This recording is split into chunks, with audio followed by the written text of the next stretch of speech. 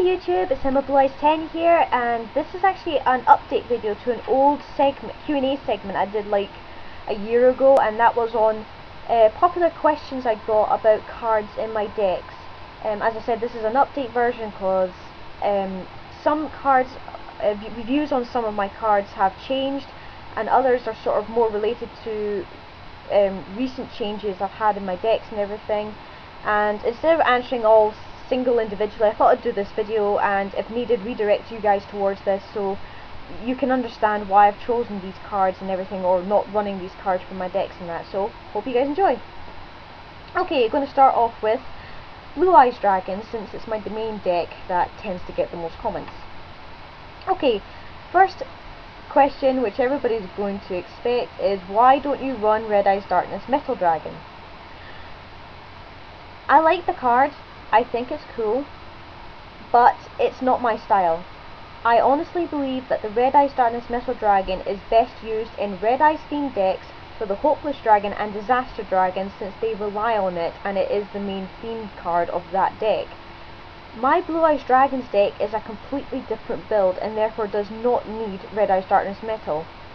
I have tried it out in my deck a long long time ago but it just did not feel right to me. So that's why I don't run it. It just does not feel right to me. It's not my style. You know, I, you know, that's so yeah. If you, if you don't like that reason, then you know, tough luck. That's that's just me. Okay, I don't run with the crowd. If you see what I mean. Okay, I've had not not not very many questions on this particular two cards, but this is just uh, two cards that have changed. Uh, my views have changed on in the past wee while, and that is of course Future Fusion and Five God Dragon. I used to really dislike these cards because I saw them more of as an abuse card for getting out your Red Eyes Darkness metals and that in the more meta types of dragon decks and also to set up the graveyard with other um, other cards and that so people could get their uh, win conditions and that on the field. Now um, I run 5 blood uh, Future Fusions mainly to target 5 God Dragon and I really am happy when I do manage to get that dragon out. But it's also mainly, and I can also use it rare on the rare occasion for Blue Eyes Ultimate Dragon and if it does work then that's really wonderful. But I mainly, I do use it to set up the graveyard like with Totem Dragons so I've got Totem Dragons to summon if needed because that's where its effect is best used. Um, but I don't abuse the card. Like, you know, I, I set up the graveyard uh, so quickly in that way that, you know, I get um, I get the win conditions and that on the field. Because the win condition of my deck is Blue Eyes Shining Dragon. If I use Future Fusion, I can send the three white stones where their effects will activate and I can get three blue eyes into the hand along with Poly, which is my main way of getting out Ultimate Dragon. So it's more of a stepping stone into getting to my win condition, not a actual win condition card for myself if you see what I mean. Um, so I used to hate it, but I actually really like it now. It, I can see the advantages of it, and uh, so yeah, can, it, it's surprising what can happen uh, with your views of a card change when you actually try it out in that. Okay, um, I've, I've been asked about um, the new Chaos Dragon structured deck in that, and if my Blue Eyes deck will ever go towards that. No, I think the Chaos Dragon structure deck is interesting, it's an, an interesting build, but I wouldn't run it myself, if you see what I mean, because my deck isn't focused on Chaos or anything, so it wouldn't, wouldn't really benefit me. If I decide to build a separate build for that, maybe, but at the moment it's sort of a question mark topic.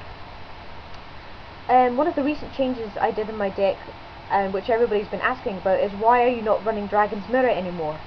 Now I did explain the reason in the in the deck um, video I did do the first change in, but obviously there are people who don't um, who can't be bothered to watch the video fully in order to understand the reason, hence why I'm doing it in this.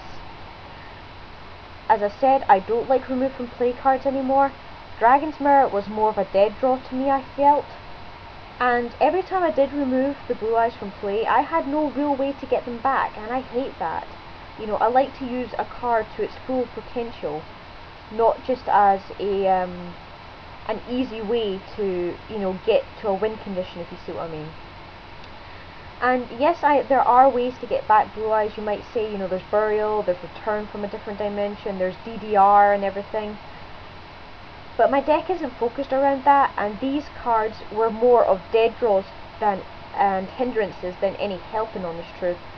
So that's why I'm not running those cards anymore.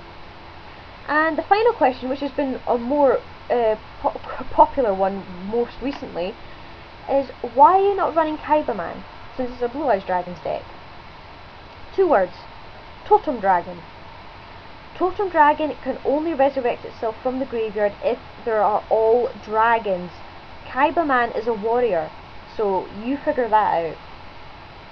And besides, the other reason is Kaibaman is good for getting out Blue Eyes, but as soon as you summon a Kaibaman, your opponent is going to know exactly what it is you're about to summon, and therefore can get their Solemn Warning, Bottomless, torrential, whatever the heck it is, ready for blue eyes and therefore destroy your strategy when that happens.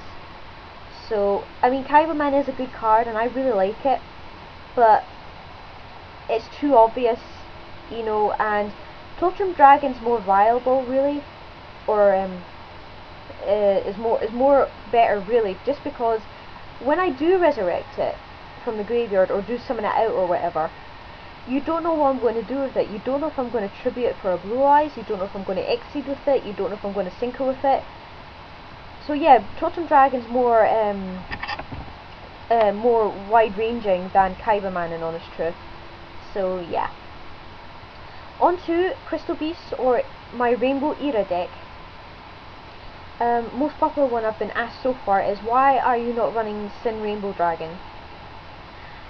I did run it but it, I felt like it was locking me down, and I didn't like, as I said, I don't like removing from play cards anymore, so removing from play Rainbow Dragon, which I only run one copy of, is a bit, you know, was a bit meh, so it's no longer in the deck anymore.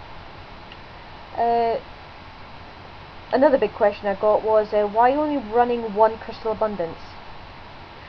Crystal Abundance is mainly used in meta Crystal Beast decks as an OTK, I don't like using OTK. I use Crystal Abundance solely either to reset the field if I'm in a really tight situation, or as an extra way to reuse the Crystal Beast abilities in order to get out Rainbow Dragon if it if it gets into my hand. Um, why am I only running two rare, rare value? I did used to run three, but I'd struggled to keep enough Crystal Beasts on the field to use three, and besides I feel like I've got enough draw power um, you know, got a hand destruction in there just in case, and then you've got the draw power of the ancient city as well if it um, if it goes round. So yeah, two is more than adequate for me, I feel. And finally, um, why Rainbow Neos? Um, as you know, I run Rainbow Dark Dragon in the Rainbow Era deck as well. I can only summon it out of Rainbow Gravity. There are occasions when I do get it in the hand, and before I added in Rainbow Neos, it was a dead card in the hand that I couldn't really do anything with. But with Rainbow Neos now, which can be fused with either Rainbow or Rainbow Dark, gives it a bit more options. So if it does get into my hand, then I've got a fusion material ready for Rainbow Neos, which 9 times out of 10, the opponent will not expect. And finally, onto the deck that's been getting the most recent questions is Light Swans. Why am I only running two Lyla? 2 Lyla I feel is more of a meta slash competitive build. My Lightsworns is a fun build, and besides, I only want to I want to run a more wide-ranging variety of the Light Swans, hence why I've got things like Jenis and Rinian in there. And I've got plenty of back row removal anyway, so I think one Lyla is more than adequate. Now this this this next card, um, some people are like, oh your deck sucks because you can't run, you're not running three of this you know, why are you not running three of this, you know, your, your deck's crap and stuff like that. Well, it's my decision to run two solar recharge. Because it's my build, I build it the way I want, and the deck thins out really quickly and I've got plenty, again, I've got plenty of draw power, so I don't need to run three. So, yeah. And finally, um, I got asked, why are you running Wing Kuriboh instead of Necro Gardna? Well, It's a Lightsworn deck, I wanted to keep it all light monsters, and I've always liked Wing but I never got the chance to really run it in any deck, and I saw it, uh, saw an opportunity in the Lightsworns because it's a light type fairy monster, and uh, it reminds me of a funny game ender I saw by Dark Magician 84, which was a Wing with Honest for game. So I thought it was just a bit, something just a bit fun and a bit unusual to throw to put into the deck. And you know, as I said, it's my Necro Gardna of the Light Lightsworn deck, and it, again, it's just my build. I put put wherever I feel like uh, in there, whatever feels right to me. Alright, anyway guys, that is it for this Q&A segment. I hope you enjoyed that and I hope that answered your questions. If you do have any more questions regarding cards that I play in my decks, post down in the comments below and I will get to them as soon as I can. Until then, take care and we'll see you later. Bye!